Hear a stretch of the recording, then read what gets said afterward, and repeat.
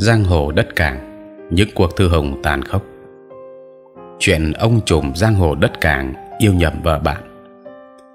Thế chân vạc trong giang hồ, những năm cuối 80 đầu 90 của thế kỷ trước, ở đất cảng đã định danh rõ ràng là cu nên, dung hà và lâm giả đây là những đại ca mà giới giang hồ đất cảng luôn tôn trọng. Đại úy công an đã về hưu, khẳng định rằng cả ba ông bà chùm này đều có người chống lưng, thì mới xưng bá giang hồ một cách ngạo mạn như thế. Thế nên, lý do ngã ngựa của họ không phải ai cũng biết. Nghi án yêu vợ bạn. Người anh xã hội của tôi đồng quan điểm với rất nhiều người đương chức thời điểm phạm đình nên tức cô nên, sinh năm 1957 hoành hành trong chốn giang hồ là nên chơi trội, hơn lâm già và dung hà chính vì sự chơi trội này mà từ năm 1970 đến năm 1989 nên sở hữu tới 11 tiền sự, trong đó có hai lần phải đi cải tạo tập trung, hai lần trộm cắp tài sản công dân, một lần cướp giật tài sản công dân, hai lần cướp tài sản, một lần cố ý gây thương tích, một lần đánh bạc, một lần chống người thi hành công vụ, một lần xuất cảnh trái phép. Từ năm 1989 đến trước khi bị bắt là năm 1995 nên sở hữu thêm 11 tiền án và tiền sự nữa. Cộng tất cả các năm vào với nhau, nên là một tên tội phạm có nhiều tiền án tiền sự nhất với con số 22 trong lịch sử tội phạm Việt Nam. Có thể nói, tiền án tiền sự nhiều hơn tiền mặt mà nên vẫn lộng hành thành ông trùm của ông trùm thì lý do ngã ngựa của nên khó có thể từ phía quyền lực bình thường ép vào khuôn khổ được, và nó không có trong bản án cũng là lẽ thường tình máu giang hồ chảy trong huyết quản của nên từ nhỏ, năm 13 tuổi, nên nó phải đi cải tạo vì là một thiếu niên hư hỏng. Sự hư hỏng đó, theo người anh xã hội của tôi, cũng dính đến phái yếu và chữ tham. Nên lập gia đình sớm đầu những năm 80 của thế kỷ trước. Đời sống khó khăn đã vậy nên lại phải đi tập trung cải tạo. Khi nên đi cải tạo về thì chia tay vợ và vượt biên ra nước ngoài. Tại đây nên gặp người vợ thứ hai và phải ở trại tị nạn Hồng Kông 2 năm. Vợ nên sinh con ở trong trại tị nạn, rồi đến năm 1989 thì vợ chồng nên phải hồi hương.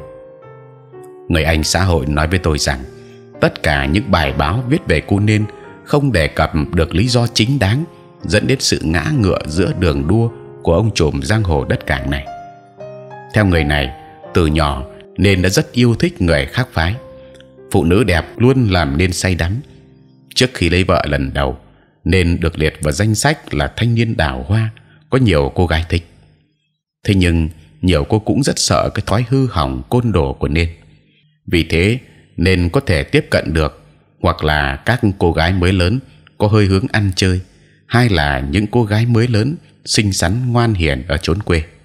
Ít hoặc có thể là không tiếp xúc với bên ngoài. Thời thanh niên nên nó nổi tiếng giang hồ nên cha mẹ cô gái nào mà chẳng sợ. Thế nhưng cũng có người ở quê vì lý do nào đó còn thích thú khi con gái mình được nên để mắt tới theo người anh xã hội khi đã đứng danh có thế vững trong giới giang hồ đất cảng nên bắt đầu phát tiết cái gọi là tình yêu đối với phái yếu mạnh mẽ hơn. Cái thứ tình cảm nó bị lắng xuống trong thời điểm nên xây dựng cơ đồ giang hồ, thì lúc đứng danh nó phát tiết trở lại khá mạnh mẽ. Khác với những giang hồ khác là thích các cô gái trẻ đẹp mới lớn, thì nên chỉ mê đắm những người phụ nữ đã có gia đình đẹp nền nã dịu dàng hoặc phụ nữ có cá tính. Thấy bảo nên đã chết ngay từ lần đầu tiên gặp vợ của một người bạn trong giang hồ. Tất nhiên, theo đánh giá của người thạo chuyện giang hồ, thời điểm đó người bạn này lại dưới cơ giang hồ so với nên. Người vợ hiểu điều đó, sợ ảnh hưởng tới chồng, nên dù bị ông trùm yêu cũng không dám hé răng nửa lời.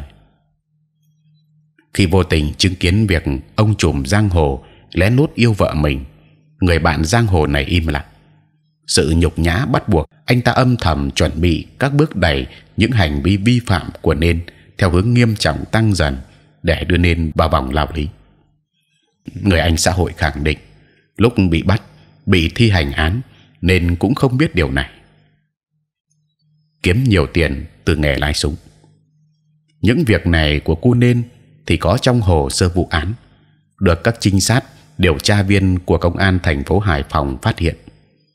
Trong một lần trao đổi với chúng tôi về các băng nhóm tội phạm cộm cán của Hải Phòng, ở thời điểm thiếu tướng Nguyễn Văn Thụ còn đương chức, ông thừa nhận Phạm Đình nên là một giang hồ giàu có.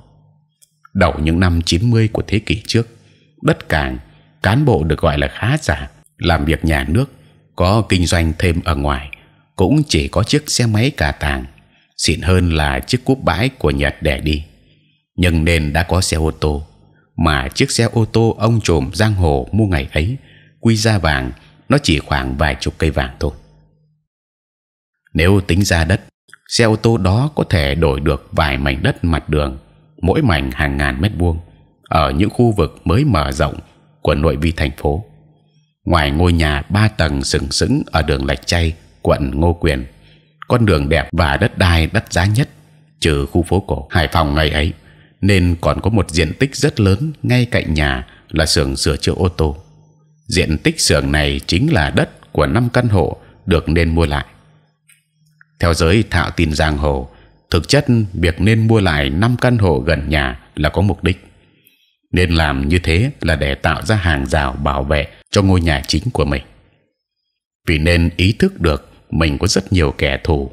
Hơn nữa, những diện tích xung quanh nhà cũng chính là nơi để nên kinh doanh, tụ tập đám đệ tử, thực hiện những phi vụ làm ăn nhằm lấy kinh phí nuôi quân và duy trì hoạt động khác. Cũng theo người thạo tiên giang hồ này cô nên rất yêu quý nể trọng mẹ và vợ. Vì thế, dù làm gì ở ngoài nhưng về nhà nên không để mẹ biết những hành vi vi phạm của mình.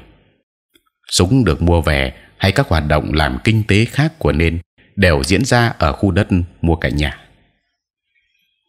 Ngày ấy, ngôi nhà ở đường Lạch Chay, quận Ngô Quyền, thành phố Hải Phòng là đại bản doanh của băng nhóm tội phạm do Phạm Đình nên cầm đầu. Trong nhà nên, ngoài mẹ nên, vợ chồng nên và ba đứa con, lúc nào cũng có hàng chục đàn em túc trực để bảo vệ tính mạng cho nên và người thân của y. Một nguồn tin khác làm nhiều người giật mình là ông trùm này kiếm bộn tiền từ nghề lái súng, nên cũng là kẻ sở hữu súng đầu tiên trong thế chân vàng đất cảng ngày đó. Khác với những đại ca giang hồ cùng thời, vì đã từng ở trại tị nạn nước ngoài, nên ý thức được việc sở hữu vũ khí rất có lợi cho hoạt động phạm tội, cũng như đẳng cấp giang hồ lúc nào cũng duy trì ở ngôi vị trí số 1 nên dùng tiền tài của sới bạc vào việc mua sắm cho lửa. Ngoài việc để thể hiện đẳng cấp, nhóm giang hồ nào muốn mua nên sẵn sàng bán lại rồi tiếp tục sưu tập. Người anh xã hội của tôi cười mà rằng đây chính là tử huyệt của nên. Chuyện giang hồ tranh giành lãnh địa cờ bạc thời đó không quan trọng bằng vũ khí. Trong bản án chỉ tuyên nên về tội tàng trữ vũ khí quân dụng trái phép không nói đến chuyện nên là tên lái súng. Có thể người ta muốn khép lại những vi phạm của ông trùm giang hồ này, và cũng có nguồn tin cho rằng thời điểm đó những đối tượng trong băng nhóm này không khai ra đường dây lái súng, nên cơ quan chức năng không đủ cơ sở kết luận. Rồi thì với ngần ấy tội, nên đã bị tuyên tử hình rồi, thêm tội nữa cũng chẳng để làm gì. Dung Hà dính đòn thù từ đối thủ của người tình như thế nào? khi Nam tiến, sự thân thiết giữa bà trùm và ông trùm xài thành năm cam cũng làm nhiều người phụ nữ khác ghen tị. Sự thân thiết quá giới hạn của bà trùm với một người con gái có vẻ ngoài hiền thục, là mầm họa và được cho là nguyên nhân dẫn đến cái chết của bà trùm với nhiều đồn đoán lưu trai hơn bao giờ hết. Hoạn thư thời đất càng nổi sóng giang hồ. Ai cũng biết bà trùm có hai mối tình vừa dậy sóng vừa lưu trai nhất trong giới giang hồ đất cả. Đó là hai mối tình gắn với hai người đàn ông đầy số má trong giới giang hồ thời Dung Hà chưa thành bà trùm. Có cùng tên là Hùng. Mối tình với Hùng chim chích là tình đầu, được bà trùm đặt nhiều kỳ vọng nhưng lại gặp nhiều cản trở nhất khi mà chim trích có quá nhiều bóng hồng theo đuổi, dù rằng chim trích đã nghiện ma túy. Người thạo tin giang hồ nói rằng thời yêu hùng chim trích, bà trùm phải trả giá rất đắt về tiền bạc và tình cảm. Vì thời đó Dung Hà mới bập vào giang hồ nên cần một giang hồ thực thụ để đỡ đầu nổi tiếng. Thực tế, Dung cũng là người phụ nữ giang hồ có tài lẻ, khiến đám ông ve rất nể và sợ và nghe lời dâm dắp. Với bà trùm, yêu hùng chim chích là mối tình đầu đời, nhưng với hùng thì đó là người phụ nữ thứ n rồi. Hùng chim chích có vợ, có con, nhưng thời điểm đó, với danh giang hồ của mình, Hùng có thể ngã vào lòng bất cứ cô gái nào mình thích.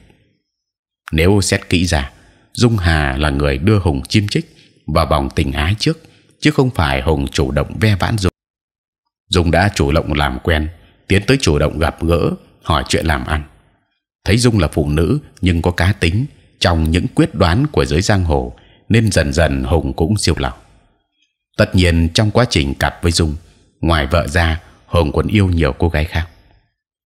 Người thạo tin cho biết, vợ hồng chim chích là người phụ nữ an phận và biết chấp nhận thực tế của hôn nhân của mình, chuyên tâm vào lo lắng, chăm sóc con cái và cha mẹ hai bên. Thế nhưng những cô gái người tình của hồng mới là hoạn thư của đất cả. Lấy thế mạnh là trẻ đẹp, đầy chất chơi, có ít nhất ba cô gái mới lớn song song là người tình của hồng chim chích đã thách thức dùng. Ba cô gái này không ghen nhau vì bị đám đệ tử của Hùng nhồi sọ những việc phải làm và không được làm. Khi biết chuyện, Hùng có người tình già, ba cô gái đã hợp sức nhau lại, bản mưu tính kế để tấn công người tình già của tình nhân. Lần lượt từng người tình bé bỏng của Hùng chim chích đã xỉ bà dung trước đám đông giang hồ. Hùng khóa chí khi đám người tình ghen nhau. Được Hùng cung phụng, ba người tình trẻ con này bỏ tiền ra thuê chính đệ tử của Hùng của Dung theo dõi chuyện làm ăn yêu đương của họ, rồi bàn cách đánh ghen, làm cho bà trùm mất mặt. Thời điểm này, giang hồ đất cảng đang ở thế hỗn mang, muốn thành trùm để quy tụ đàn em dưới trướng thật nhiều và phô trương thanh thế thật lớn. Dung phải ngậm đắng nuốt cay, giả điếc giả đuôi, coi như không hiểu bồ trẻ của người tình nói gì làm gì. Mục đích của Dung là dựa vào hùng chim chích để nổi danh giang hồ. Chính vì mục đích này nên dung bỏ qua chuyện nhảm nhí của mấy đứa con gái mới lớn đó. Người thạo tin khẳng định dung thừa lực và uy để xử mấy đứa trẻ con đó, nhưng vì chuyện lớn nên bỏ qua. Thế là bà trùm ngồi với người khác giới nào ở đâu, thái độ ra sao đều được mật báo về cho hùng chim trích. Thời gian đầu hùng cũng chẳng để ý nhiều lắm đến chuyện bà trùm gặp ai, miễn là hàng tháng vẫn chia sẻ lợi nhuận biết được nhu cầu cần tiền của hùng, ngày càng tăng cho những cuộc vui chơi, cho ma túy, dẫn đến bà trùm không thể cung phụng mãi được. Các cô bồ trẻ bắt đầu tận dụng cơ hội này để đánh ghét đòn độc gây chia rẽ. Nguồn tin chính thống cho biết hùng chim chích, nghiện nên dung hà bỏ. Hơn nữa, thời điểm đó, giang hồ đất cảng nổi lên một ông trùm khác, đó là hùng cốm. Hùng chim chích đã hết thời, lại còn gây rối nên bị dung hà loại của cuộc chơi bằng chiêu rất độc và hèn. Nhận định mang tính chính thống đó có thể đúng, nhưng giang hồ thì lại đồn đoán về sự ngã ngựa rất khác của hùng chim chích là liên quan đến chuyện tình cảm. Chuyện làm ăn đi xuống, đệ tử cũng bỏ vì tìm chỗ khác. Hùng chim chích chỉ còn mấy ong ve mới vào nghề và đám bồ trẻ thích ăn chơi hơn thích làm. Chúng bảo nhau theo dõi rồi tống tiền dung cực chẳng đã, dung dùng mỡ nó, dán nó. Bằng cách vợ hợp tác lại, đánh một quả lớn, lấy tiền đó trả cho hùng và đám đệ tử. Kế hoạch đã xong, lúc thực hiện, dung để cho hùng làm cả ăn tất ở ngoài báo công an. Hùng bị bắt và sau đó bị đi tù. Về một thời gian thì chết bởi nghiện. Mấy cô bồ trẻ của hùng sợ mà bỏ xứ đi, chứ dung cũng chẳng cần phải làm gì. Mối tình với hùng cốm mới chính thức đưa Dung Hà lên vị trí bà trùm. Và cũng vì mối tình này mà Dung, dù có người quen giúp đỡ, cũng không thể trụ ở đất cảng, phải nam tiến. Hùng cốm cũng có cả đống người tình, gái mới lớn, phụ nữ đã có chồng, bỏ chồng. Dung biết điều này, nhưng vẫn yêu hùng. Người thạo tin cho biết, khi yêu dung, hùng cốm khá nghiêm túc và chịu khó kết hợp làm ăn khá nhuyễn. Họ hợp tác với nhau vài phi vụ thì bắt đầu nảy sinh chuyện ghen tuông. Hùng cốm là người thích sở hữu và không muốn bất cứ người phụ nữ nào của mình có tư tình với người đàn ông khác. Biết điều này, người tình bé bỏng của hùng cốm thường xuyên theo dõi dung. Vì là dân giang hồ, Dung tiếp xúc với đủ loại người và phần lớn với đàn ông. Hùng rất khó chịu mỗi lần nhận được tin báo. Dung đang cười, uống bia với ông này thằng kia. Khi hùng cốm bị bắt thông tin được hùng phát ra là dung có mối quan hệ rộng, nên buộc phải tìm cách cứu hùng ra bằng được. Thật ra, tin này không phải do hùng nhắn ra, mà do đám bồ của hùng gây áp lực với dung. Ép dung phải cứu hùng, nếu không thì không xứng đáng làm chị cả. Bị bọn trẻ trâu nó quấy mũi và cũng có tình cảm thực với hùng, dung bàn cách giải cứu hùng khỏi trại tạm giam. Kế hoạch là do dung lên và thực hiện, nhưng đám trẻ trâu của hùng cốm biết sau này, khi giải cứu người tình không thành công, những kế hoạch của dung đã bị phơi bày đến mức dung không còn đất sống ở đất cảng, nên phải tìm đường nam tiến. Trùm xã hội đen lâm giả và cú ngã ngựa ngoài dự định. Đám giang hồ đàn em cho rằng đại ca lâm giả đã quá tự tin với tính cách đa nghi như tào tháo của mình và để dễ đặt niềm tin với những đệ tử ruột mà lâm cho rằng nó là thằng được việc.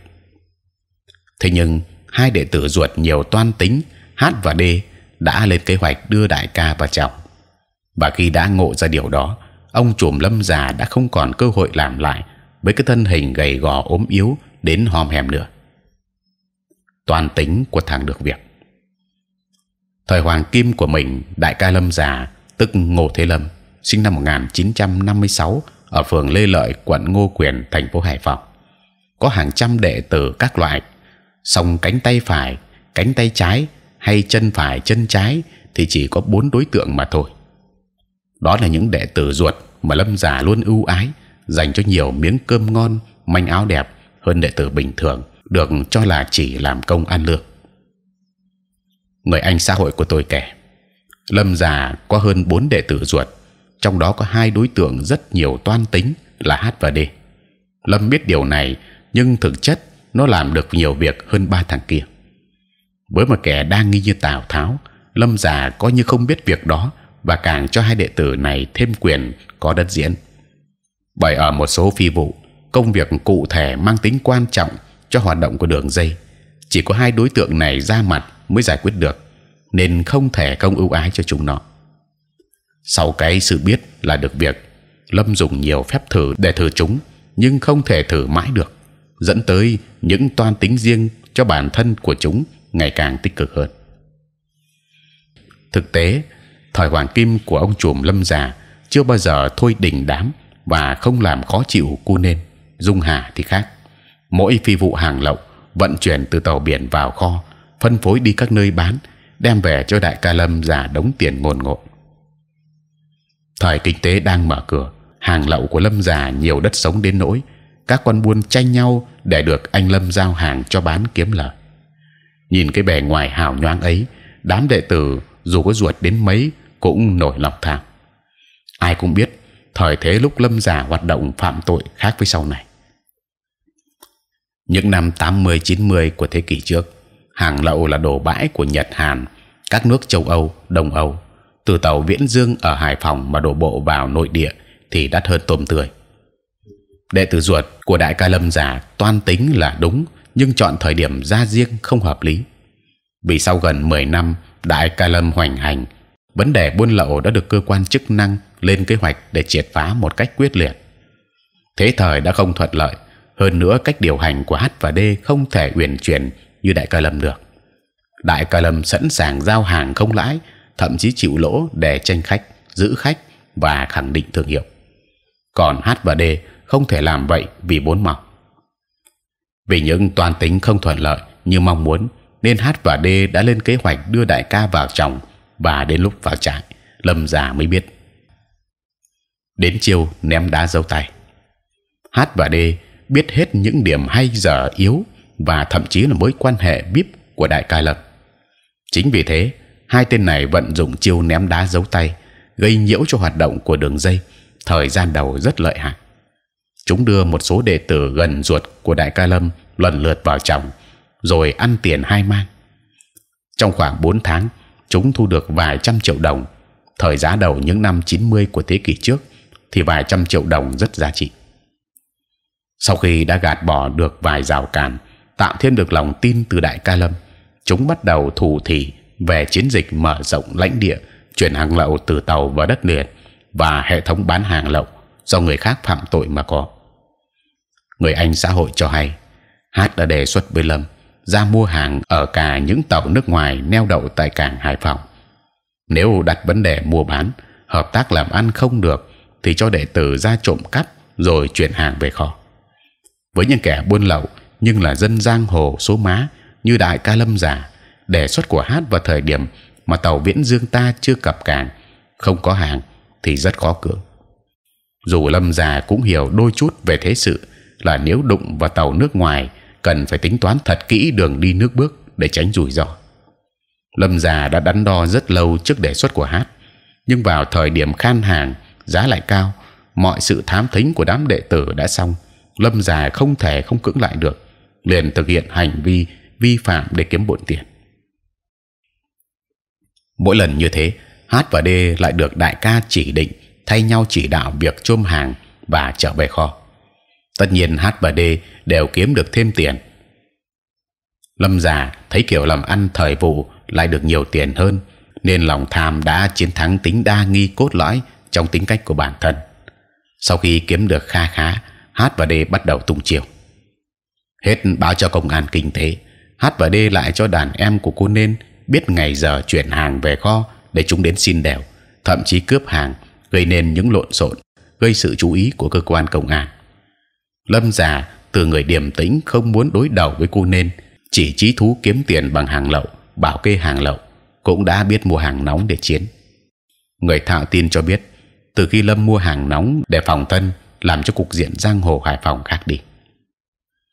Cơ quan chức năng vào cuộc chiến với giang hồ liên tục quyết liệt hơn trước đó cả cu nên dung hà và lâm già đều được đánh giá là có người quan trọng đỡ đầu chính vì thế những tố cáo nhỏ giọt đơn thuần của người dân không thể làm cơn chấn động giang hồ được.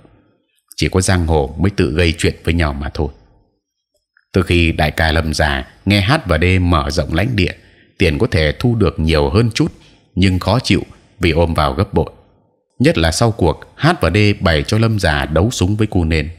Thời điểm đó, nhiều người cho rằng cu nên gây thù chúc oán nhiều nên bị rất nhiều người ghét, muốn xử họ rất bênh lâm giả, cho rằng đại ca giang hồ này không cùng màng làm ăn với cô nên nên xử lý làm gì trong hồ sơ của cơ quan công an và bản án, ngay cả lâm già cũng chưa từng thừa nhận bác súng đến nhà cô nên bắn thị uy, nhưng h và d xác nhận lâm già chỉ đạo đàn em đi bắn trong số kẻ đi vãi đạn đó, có d vì D rất thích được bắn súng đạn thật, và đó là cơ hội đầu tiên cho D được toại nguyện.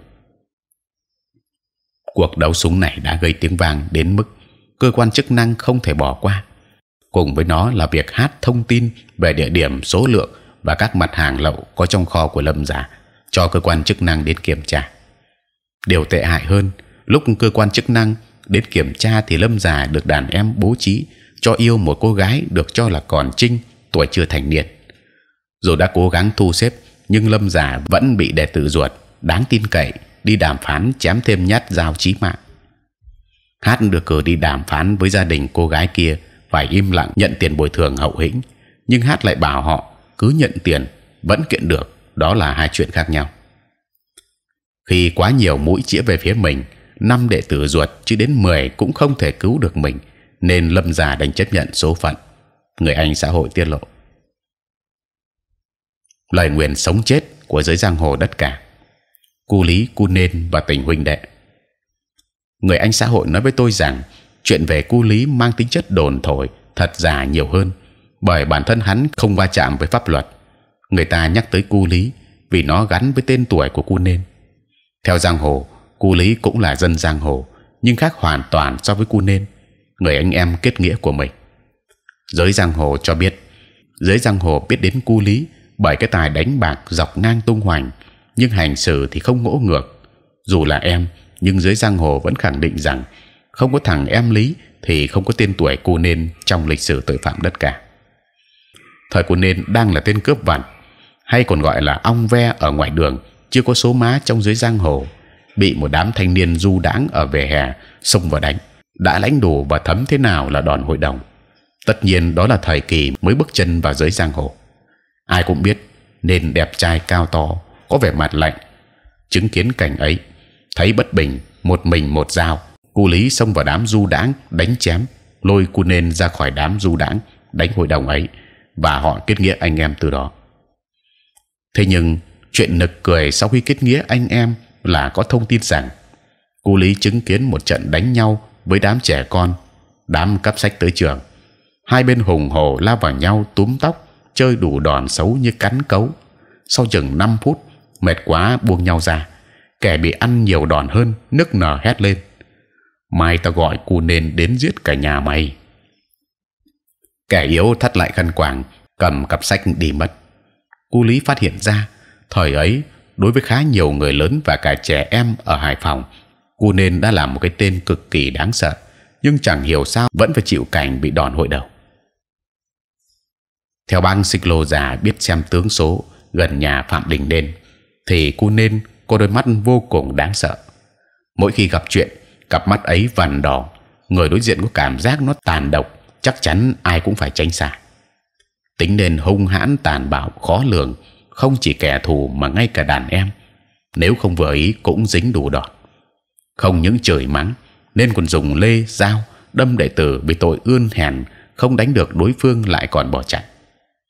Chém đệ xong, nên bắt đệ tử khác đưa đi điều trị vết thương, còn mình thì kéo quân đi hỏi tội đối phương. Bác này cũng cho hay, riêng với một người là cu lý, thì bao giờ nên cũng thể hiện sự kính trọng, làm đám đệ tử cảm thấy khó hiểu. Thực tế, cu lý chưa bao giờ dựa bóng cu nên để tư lợi cá nhân.